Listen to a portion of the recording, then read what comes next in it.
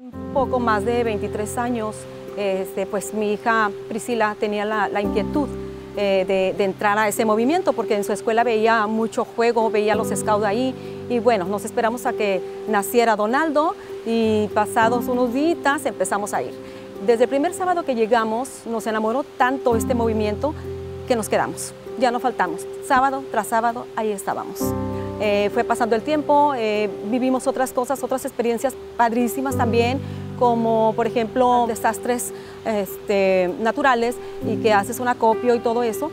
El estar recolectando los víveres y todo, vives una experiencia bien bonita porque eh, ver que la gente inmediatamente se acerca a ayudar, se acerca a ayudar, vienen, traen bastantes cosas, pasan los días y siguen trayendo y todo. Yo siempre he dicho que Nuevo Laredo es yo creo que la ciudad más solidaria que hay, porque lo hemos vivido, lo hemos palpado en, cada situación, pero pues hay muchísimas experiencias.